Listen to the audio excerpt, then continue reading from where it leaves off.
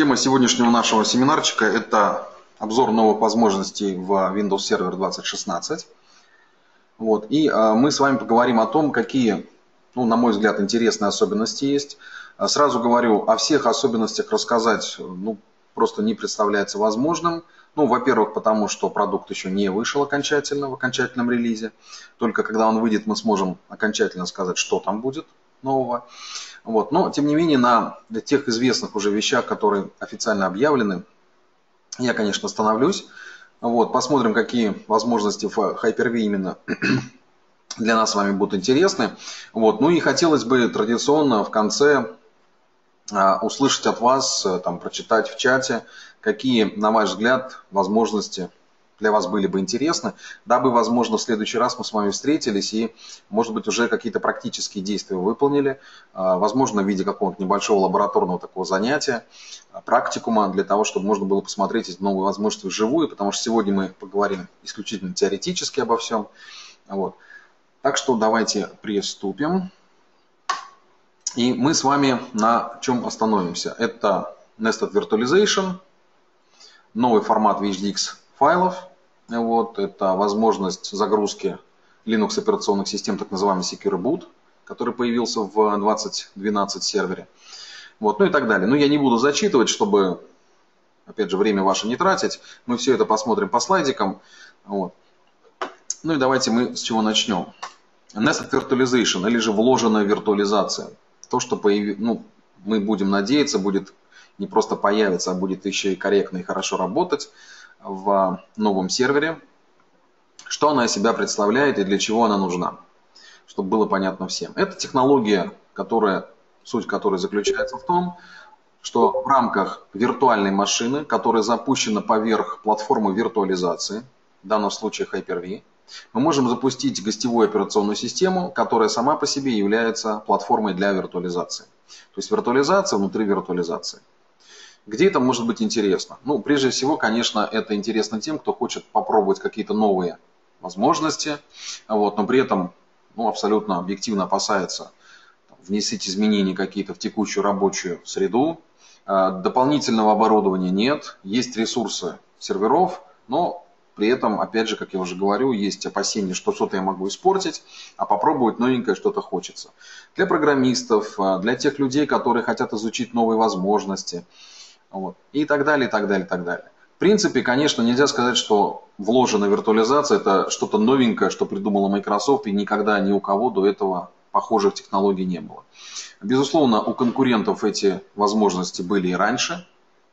Просто до 16 сервера Microsoft ну, по неизвестным причинам не занималась этим вопросом, они не реализовывали данный функционал, у них это отсутствовало. Вот. Ну, опять же, те, тот же, кто, может быть, использует продукты компании VMware, знает, что там у них это было давно достаточно сделано, без проблем все это работало. Вот. А, и, честно говоря, сильно не хватало этого функционала вот, в реализации Microsoft. Те, кто привык, допустим, работать с продуктами Microsoft и не хотели бы там обращать внимание на других вендоров, им не интересно ставить какие-то другие продукты, разбираться в этих новых продуктах, у них уже реализована платформа виртуализации. Вот. И им интересно на том, что у них есть уже все это попробовать реализовать. Ну, кстати, изучить тот же самый 2016 новый сервер, попробовать, если есть желание, вот опять же, можно именно в такой платформе реализовать. А, посмотрим, насколько это будет стабильно работать. Сейчас, конечно, сказать очень сложно. А, какие будут поддерживаться возможности, будут ли реализованы поддержка всего функционала или какой-то только части, то есть насколько это обрезано или не обрезано. Ну, как я уже говорил ранее, окончательно мы это узнаем только когда выйдет релиз. Вот. Тогда уже будем говорить полноценно, насколько это все будет у нас работать. Но, по крайней мере, заявлена эта возможность. Более того, я, естественно, все это проверял, все это действительно работает. Запускать можно вложенную виртуализацию внутри виртуализации. Она действительно работает. Раньше даже и не устанавливалась, сразу выдавала ошибку. При этом а, ваша гостевая система может быть реализована как на базе полноценной операционной системы, так и на базе а, того же самого ну, если кто вот знает, может быть, администрировал Core сервера, ну или того же Nano сервера. То есть тоже можно, если опять же слышали о нем. Несколько слов по поводу нового формата VHDX. New Shared VHDX формат. Опять же, напомню для тех, кто не знает, в 12 сервере появился, появилась возможность, которая заключается в том, что вы можете совместно с другими виртуальными машинами использовать общие VHDX файлы. Реализуется это для того, чтобы у вас, допустим, была возможность, к примеру, собрать тот же самый кластер Microsoft на базе гостевых операционных систем, без привлечения, без подключения внешней э, инфраструктуры в виде SHD, проброса там iSCSI, использования Fiber Channel. Вот. То есть, когда вам нужно сделать кластер, но инфраструктура внешняя вам недоступна. Но, тем не менее, кластер вы хотите собрать, причем кластер будет не какой-то там игрушечный, он э, не какой-то будет э, там не совсем может быть серьезный. Вот. Все будет работать корректно. Дело в том, что VHDX файлы в 12 сервере общие вы могли размещать исключительно на отказоустойчивых, надежных хранилищах. Это либо CSV тома, либо общие папки. Вот. Но кое-какие вещи были недоступны. И э, здесь мы сразу видим и обращаем внимание, опять же, кто может помнит интерфейс, у нас появляется дополнительная возможность а именно создание общего диска VHDX. Вот, VHD, общий диск, прям вот создаем именно его. При этом у нас появляется возможность онлайнового изменения размеров этого диска. Вот, удобный графический интерфейс. Вот, конечно, те, кто использует именно этот формат дисков, работают с ним, они это оценят. Для вас это будет очень удобно. А, пару слов буквально о нашем собрате-конкуренте, кто работает с Microsoft и не работает с Linux, наверное, будет не так интересно, но тем не менее, э, Microsoft активно сотрудничает с Linux Community, сообществом Linux, э, активно поддерживает и все больше и большее количество дистрибутивов поддерживается официально компанией Microsoft. Вот более того, если вы заметили, кто использует активную виртуализацию, э, в Linux дистрибутивах встроены компоненты интеграции Microsoft, и многие дистрибутивы уже идут с поддержкой, допустим, такой функциональности сразу на борту, в коробке. А как динамическая память, использование драйверов, мышки, ну и так далее. Все это работает корректно, прям сходу, с дистрибутива. Так вот, э, с появлением виртуальной машины второго поколения официально поддерживались э, в рамках этой машины второго поколения только Microsoft операционные системы в 12 сервере.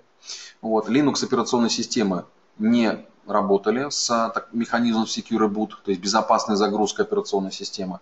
В 16 сервере этот пробел, на мой взгляд, все-таки устранили. Вот, и э, сейчас обе системы полноценно поддерживаются, и вы можете ими пользоваться что Linux, что Windows. Еще раз напоминаю, это касается машины, э, виртуальной машины второго поколения. Очень интересная новая возможность, которая появилась в новом сервере и который, ну, наверное, будет интересно пользоваться тем, кто начинает администрировать, управлять и использовать виртуальные машины вот активно, это э, PowerShell Direct. Механизм, который позволяет запускать внутри виртуальной машины команды PowerShell без непосредственного обращения к этой машине по сети.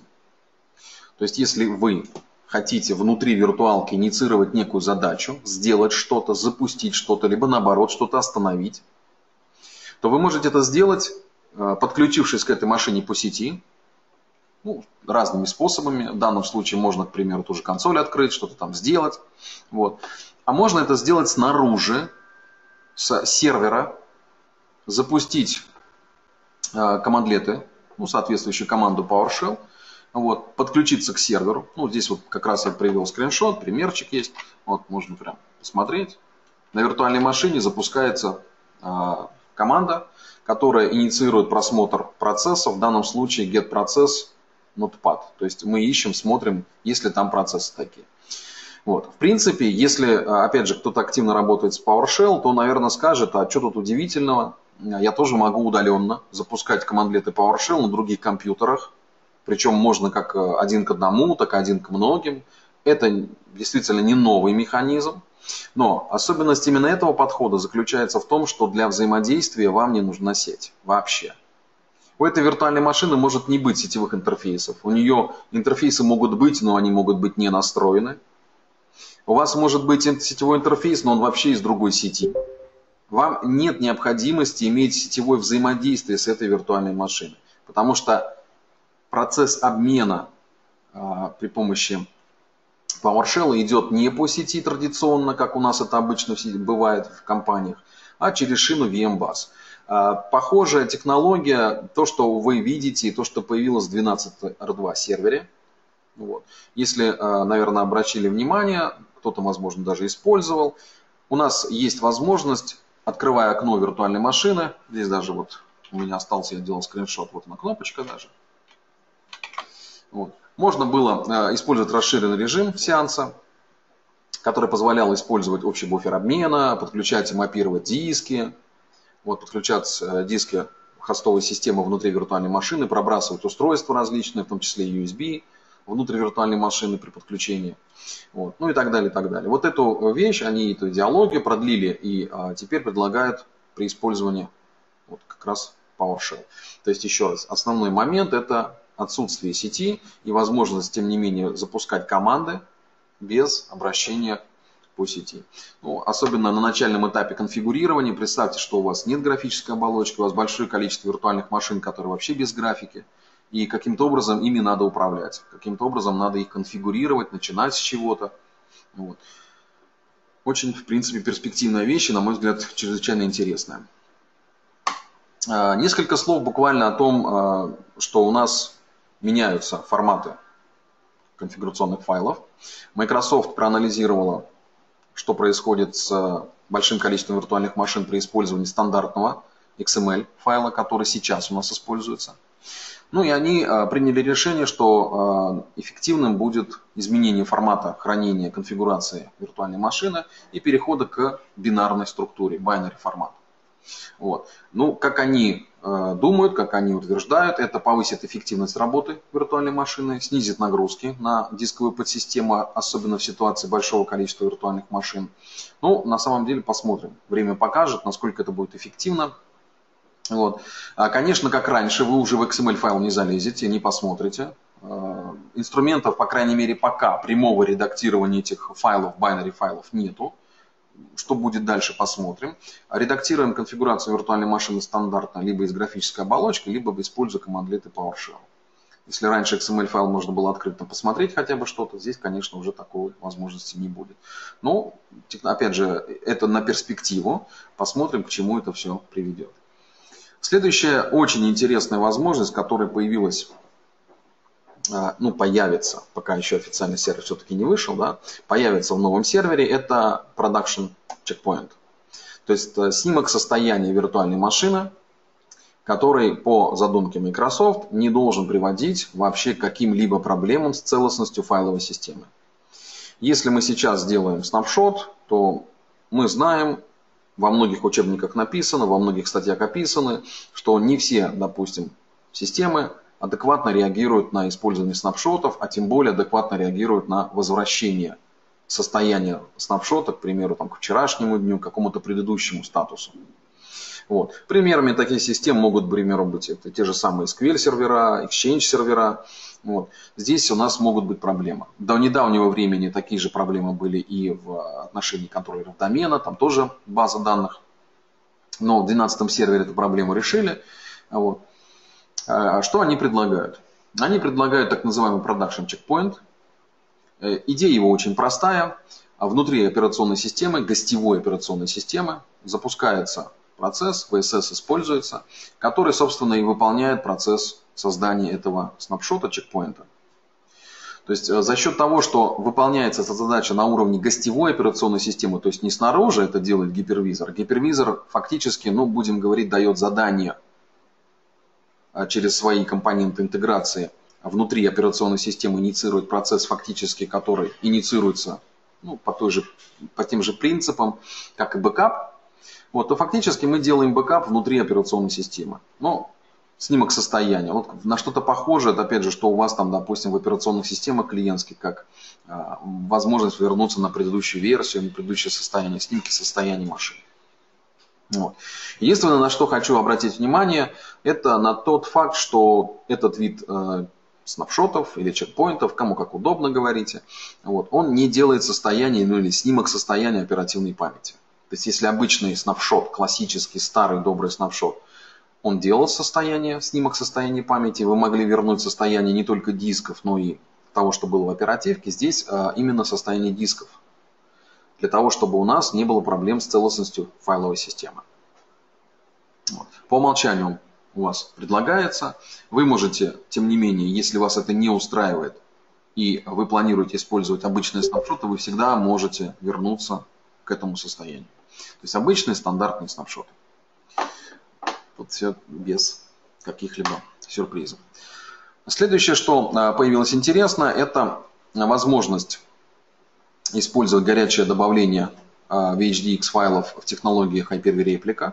Ну, если кто, опять же, пользуется этой, этим инструментом, то знает, что при работающих машинах, при работающей конфигурации не так просто добавить новый жесткий диск, и а, чтобы автоматически система его увидела и автоматически начала процесс репликации без каких-либо вмешательств с нашей стороны. Вот. А, сейчас это ну, не проблема, а задача, которая стоит перед администраторами, она решена. Поддерживается горячее добавление VHDX файлов в Hyper-V реплике. Вот, помимо этого появилась возможность горячего добавления и удаления памяти виртуальной машины. Речь не идет о динамической памяти. Есть в Microsoft такое понятие, как динамическая память, которая позволяет увеличивать либо уменьшать использование оперативной памяти, если эта опция активирована. Если опция не активирована, то виртуальная машина этого не делает. У виртуальной машины есть такое понятие, как стартап RAM, то есть старт, стартовый объем памяти, с которого она стартует. Ну и потом диапазон динамической памяти. Так вот, речь идет именно о первом параметре. То есть вы можете менять параметр оперативной памяти, причем и добавлять, и удалять у виртуальной машины в состоянии работающем, обращаю на это внимание. То есть вы можете в любую сторону вертеть. Вот. Соответственно, если машина ну, нуждается в большем объеме памяти, а вы забыли включить, либо по каким-то причинам нельзя использовать динамическую память, напомню, не все компоненты, не все сервисы, не все приложения корректно умеют работать с динамической памятью. А у некоторых э, производителей есть прям рекомендация не включать, не использовать этот механизм. Вот, а, к примеру, вам нужно память добавить. Вы теперь это можете сделать. В любой момент увеличить, ну и если это не нужно, то уменьшить.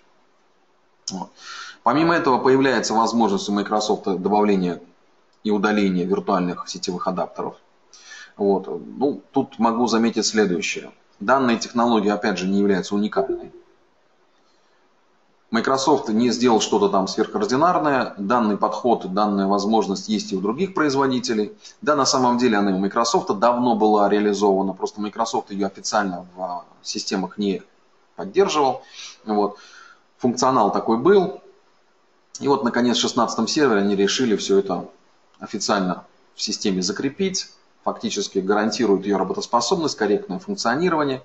Вы можете на работающей виртуальной машине добавлять сетевые адаптеры. Ну, еще раз, конечно, те, кто знаком с другими производителями, он может сказать, что это давно реализовано у конкурентов Microsoft, но, видимо, Microsoft до какого-то времени считал, что это не является сверхважной задачей, ради которой стоит там активно в этом направлении работать. Ну, времена меняются, Microsoft тоже, видимо, меняет свой взгляд, мнение на эти технологии. Вот. И теперь такая возможность есть. Следующее, что, возможно, опять будет интересно тем, кто работает с виртуальными машинами, и особенно с, в ситуации, когда этих виртуальных машин очень много – вот. А понятно, что когда у нас виртуальных машин много, у нас стоит задача ну, идентификация этих машин, э, понимание того, а что скрывается под названием, а что там внутри. И э, в том числе это касается сетевых адаптеров. Ну, добавил я адаптер. Как называется этот сетевой адаптер? Э, ну, элементарная как бы, вот, проблема, с которой, возможно, кто-то из вас сталкивается. У вас большое количество сетевых адаптеров на виртуальной машине, и вы решили там какой-то адаптер, допустим, удалить отключить, изменить, изменить настройку, перенастроить VLAN, сделать какую-то там, а, к примеру, активацию DHCP Guard или другой функциональности, ну, я сейчас не буду переключать. То есть вы хотите изменить работоспособность э, настройки этого адаптера. И вы понимаете, что в виртуальной машине, естественно, сетевой интерфейс, который использует данный адаптер, то есть а, внутри уже гостевой системы, он, возможно, изменит свое состояние. Ну, к примеру, вы что-то отключаете, удаляете. И вопрос, который мы задаем сами себе. Да? А тот адаптер, который я сейчас изменяю, это какой адаптер в операционной системе? Ведь они у нас как изначально маркируются внутри, да? Network Area Connection 1, 2, 3, 4, если вы сами не зададите название. И очень э, сложно сказать, адаптер первый здесь, это такой же первый адаптер внутри гостевой системы, а второй это второй внутри гостевой системы или как? А если я его отключу, я какой отключу? Третий, первый, второй? И вот сейчас есть возможность сопоставлять имена здесь адаптеров с теми именами, которые внутри гостевой системы будет иметь сетевой адаптер. То есть я вижу, у меня адаптер называется, допустим, Demo Network. Он в гостевой системе внутри, когда мы откроем сервер-менеджер, просматривать будем сетевые адаптеры и сетевой интерфейс, он будет называться Demo Network. И я, когда отключаю Demo Network, я понимаю, что я отключаю, с каким а, сегментом сети он взаимодействует, в какую сторону, там, с какими настройками. То есть у нас здесь путаницы не возникает. Еще раз, это, конечно, наверное, не актуально для тех, у кого одна-две виртуалки, он прекрасно осведомлен о том, что у него так и где крутится. А если у него один адаптер, то тут вообще безальтернативная ситуация. У него нет путаницы, нет проблемы. У него даже вопрос такой не возникает. Но когда у вас много виртуальных машин, а тем более вы не один инженер, вас таких много, возможно, они что-то там изменяют, Возможно, вас не ставят в известность, ну и так далее. То есть это, конечно, сразу снимает вопрос путаницы, проблем, связанных с вот такими вот вещами. Следующее, что, опять же, интересно, это появление возможности, ну, наконец-то, что называется, сделали, а, указание альтернативных полномочий при подключении консоли Hyper-V к другим серверам. Если кто работает в рамках домена, у вас сквозная аутентификация, у вас не возникает сложностей при подключении к Hyper-V узлам на других компьютерах. Вы просто берете консоль, неважно, с клиента какого-то там, подключаетесь, если полномочия есть, вы подключаетесь, полномочий нет, вы просто не подключаетесь. Все, все очень просто. Вы можете подключиться к одному серверу, к двум, к пяти, к двадцати, ну сколько надо, столько и подключайтесь. Ну а если у меня нет домена, либо есть домен, но я хочу подключиться к машине, которая не член домена. Каким образом это сделать? И вот в 16 сервере такая возможность у вас есть. У вас есть возможность указывать credentials при подключении к каждому серверу. И различные эти, естественно, если у вас сервера не члены домена, мы будем ну, надеяться, что у каждого там свой логин, свой пароль, и они не одинаковые. Как, к сожалению, зачастую именно так бывает, что они одинаковые для упрощения администрирования. Но такая возможность есть. Управление более ранними версиями. Если у вас, ну это традиционно для, конечно, нельзя сказать, что это новенькое, что традиционно для Microsoft, если у вас есть новые версии а, операционных систем, что клиентских, что серверных, то вы можете использовать продукты для администрирования этих систем для управления старыми, более ранними версиями операционных систем, того же Hyper-V 2012 и так далее. Вот. Ну и еще одна, а, ну, для кого-то может быть интересная возможность. Сейчас э, Hyper-V Manager используют для подключения Windows Remote Management вместо VMI, как это было раньше.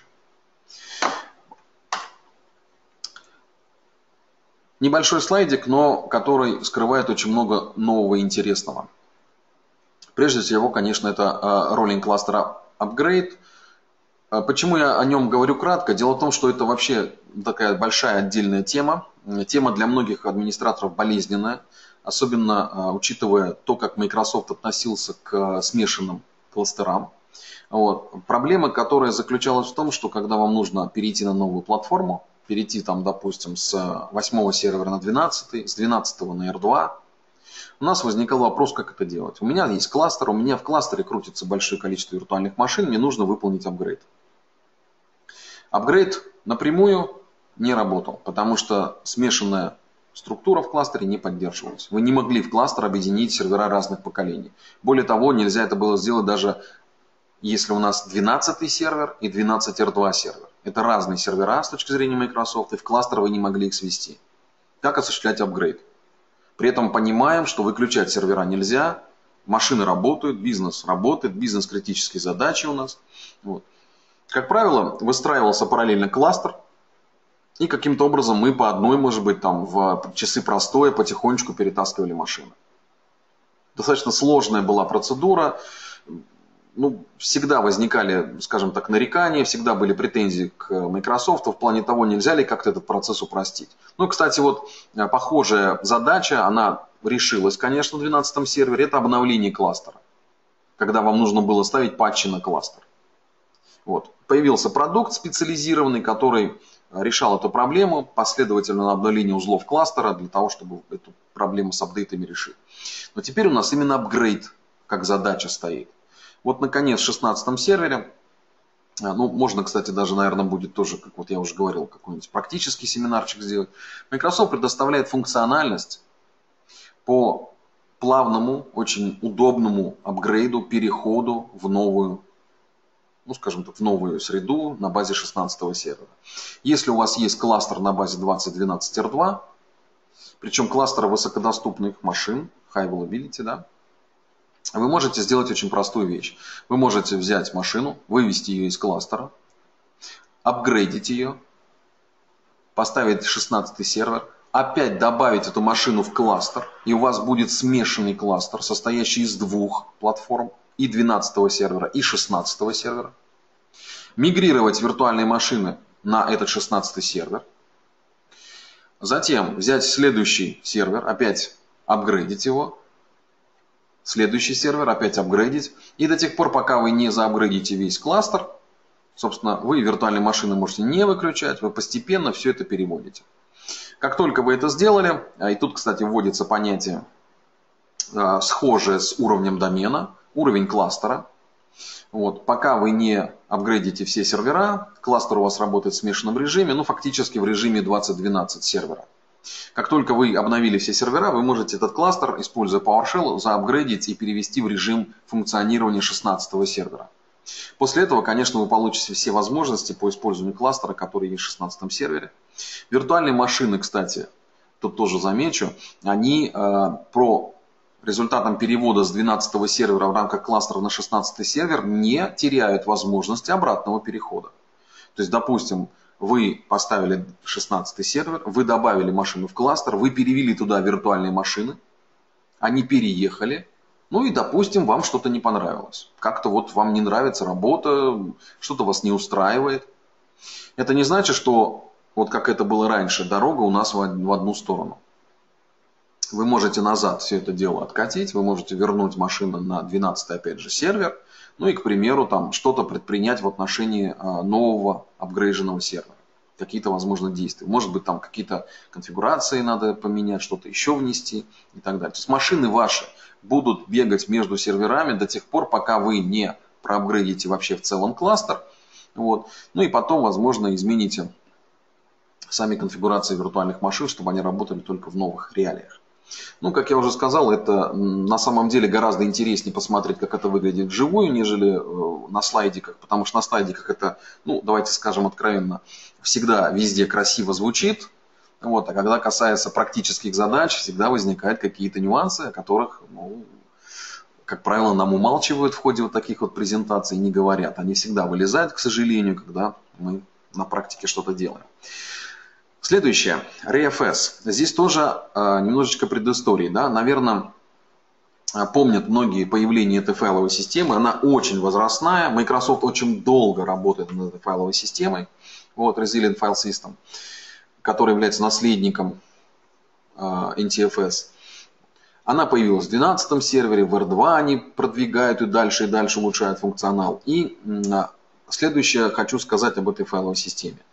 Если в 12 сервере Microsoft рекомендовал, позиционировал, видел эту файловую систему как файловую систему для файловых серверов, больших файловых серверов, вот, то и не видел ее в области применения Hyper-V, ну, естественно, в планах-то у них все это было, скорее всего, просто все как и а, объяснимо и понятно. Просто-напросто не был дописан функционал, не было стабильных сборок. Вот. В 16 сервере Microsoft теперь позиционирует и рекомендует использовать RFS как файловую систему для виртуализации. При этом многие файловые операции, которые ранее были длительными, долгими, и э, действительно занимали много времени, теперь выполняются гораздо быстрее, эффективнее на этой файловой системе. Ну, приведены два примера. Вот, это создание VHDX файла, слияние VHDX файлов. Слияние происходит, когда у вас, допустим, те, те же самые родительские дочерние дифференциальные диски, ну, либо когда у вас та же самая процедура работы с э, чекпоинтами. Там тоже процесс слияния идет, когда вы управляете, ну, там, конечно, не во всех режимах, в определенных. Вот. Особенно это заметно, особенно это видно, если ваши виртуальные машины очень большие. Файлы огромные, слияние файлов, а когда мы говорим о слиянии HDX файлов, а, мне хотелось бы, чтобы еще и машина-то работала, она не останавливалась, и а, меня не хочется бизнес-процесс это не прерывать. Вот. Опять же, вопросы создания файлов. Если файлы очень большие, то тут тоже может быть большие по затрате времени задачи, которые связаны с созданием файлов. Но опять же, эти вопросы, наверное, интересно будет посмотреть на практических примерах. В некоторых э, случаях э, там действительно кратный прирост производительности. Он, возможно, не будет так актуален для тех, у кого мало этих машин и мало таких операций. Ну, при э, этой ситуации, в принципе, можно там и подождать, может быть, 5, 10, 15, может быть, и больше минут, когда эта операция будет выполнена. Вот. Но когда у вас таких объектов много, когда у вас постоянно идут процессы слияния, создания файлов, операция с этими файлами, инфраструктура очень большая, то, конечно, здесь вы будете получать большое преимущество. Плюс, э, э, не забываем, всех тех преимуществ, которые у ReFS были до этого момента, они сильно большие. Вот, это и отказоустойчивость этой системы, работа с большими массивами, с большими размерами файлов, ну и так далее. Я перечислять не буду, там, кто опять же был на курсах, наверняка это все слышал, а, видел. Вот. И еще одна интересная возможность, это Host, э, Host Resource Protection. Идея очень простая. Платформа виртуализации, которая у нас с вами работает, которая у нас с вами функционирует – она обеспечивает работоспособность ее, а, зависит, ну и стабильность ее обеспечивает работу виртуальных машин. Если у нас с вами сам хост, на котором работают виртуальные машины, он испытывает проблемы с производительностью, недостаточно ресурсов, а это может быть по причине того, что виртуальные машины ну, скажем так, ведут себя не очень хорошо, эти ресурсы в большом объеме потребляют, а мы не, изначально не ограничивали, не стали какие-то там рамок, границ по потреблению ресурсов, хотя мы можем это делать и по процессорам, и по памяти, и все прочее. Вот. Допустим, мы этого не сделали, то э, текущая реализация сервера это не позволяет сделать, а в 16 сервере будет заложен функционал, возможность ограничения работы таких виртуальных машин в плане потребления ресурсов, то есть она не остановится. Мы не значит, что мы ее выключим, как-то убьем и какие-то там будем деструктивные действия в отношении виртуальной машины предпринимать. Нет. Просто она будет меньше потреблять ресурсов, а хост всегда себе будет гарантировать достаточный объем ресурсов для нормальной, корректной работы. И здесь проблем а, никаких не будет. Вот. Ну, а, в принципе, вот это вот а, все то, что я, ну, как я видел, на мой взгляд, интересное. Хотя, еще раз повторяю, в виртуализации там очень много интересного появилось. Возможно, вы слышали допустим, читали в интернете о других возможностях, о появлении так называемой Shielded VM, это защищенные виртуальные машины, а, технология, которая ну, а, я почему ее здесь, собственно, не вставил, я о ней не рассказывал. Технология ориентирована на защиту виртуальных машин от, э, ну, скажем так, излишне любопытных администраторов виртуализации. Это известная проблема. Админ по виртуализации в силу специфики работы имеет ну, действительно практически неограничен доступ к виртуальной инфраструктуре. Он может не знать пароля от гостевой операционной системы. Он может не иметь доступа к ней. Но он в любом случае имеет возможность, э, к примеру, скопировать файлы, получить доступ к тем же самым VHD файлам. Вот, возможность у него такая есть. Он все-таки, ну, действительно, практически не был ограничен в возможностях получения доступа к виртуальным машинам.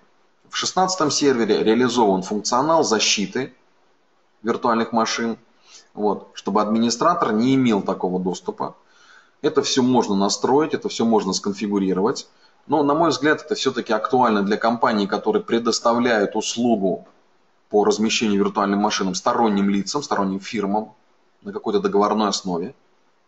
Вот, и когда, допустим, заказчик не хочет, чтобы, и специально оговаривает это в условиях договора, не хочет, чтобы администратор по виртуализации имел какой-либо доступ к этой машине диском к этой машине и так далее. Работал сам, ограничивали возможности там, копирования и так далее. То есть это можно сделать. Ну, там различные технологии используются. Ну, опять же, на мой взгляд, это все-таки актуально для крупной компании, где как раз задача такая по разграничению доступа она стоит. Все-таки больше для тех, кто услуги такие предлагает на сторону третьим лицам.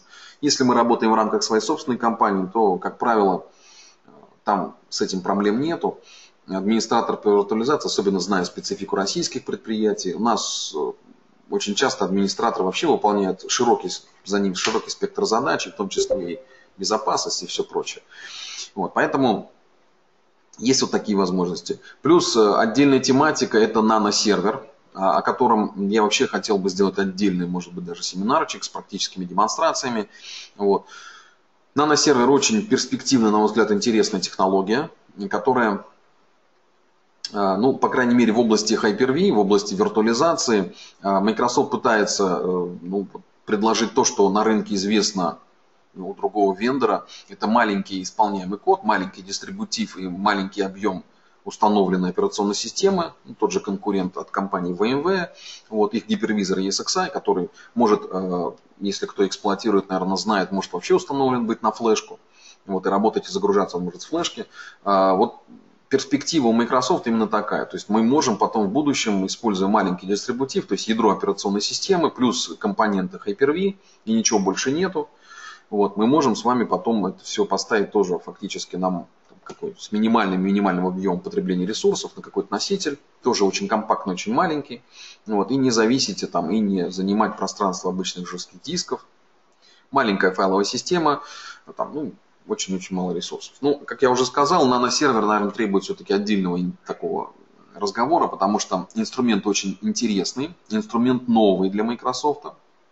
Вот. Это фактически конструктор, который позволяет, э, используя, ну, по крайней мере, пока, я не знаю, как будет в будущем релизе, использует исключительно инструментарий PowerShell для того, чтобы фактически собрать операционную систему. А, в основе всего этого ядро, вокруг ядра выстраивается функционал. Этот функционал может быть Hyper-V, функционал может быть, там, допустим, кластеризация, ну и так далее, там DNS. Э, список пока, по крайней мере, того, тех возможностей, которые реализованы, ограничен. Ну, возможно, Microsoft будет расширять этот список. Вот. На начальном этапе, по крайней, ну, опять же, пока управлять такой системой изнутри, то есть самой гостевой операционной системы нельзя. А, там возможности очень ограничены, но в принципе это объяснимо и это правильно, на мой взгляд. А, ну, все, что вы можете сделать, там IP-адрес а, поменять по большому счету и все. То есть там консоль очень ограничена, там нет даже командной строки. То есть вы не можете с консоли зайти и что-то там в команду набрать, какую-то сделать, запустить, инициировать, установить. Там нет командной строки. Но вместе с тем, что очень тоже приятно, управлять вы можете этой машиной, подключаясь, используя все те привычные для вас способы, механизмы, которые вам знакомы и вы использовали ранее. То есть тоже Hyper-V консоль открыть, работать с кластерами, все удаленно, без каких-либо проблем. Ну вот, собственно, об этом я и хотел рассказать, но еще раз повторяю, в виртуализации Hyper-V очень много интересного.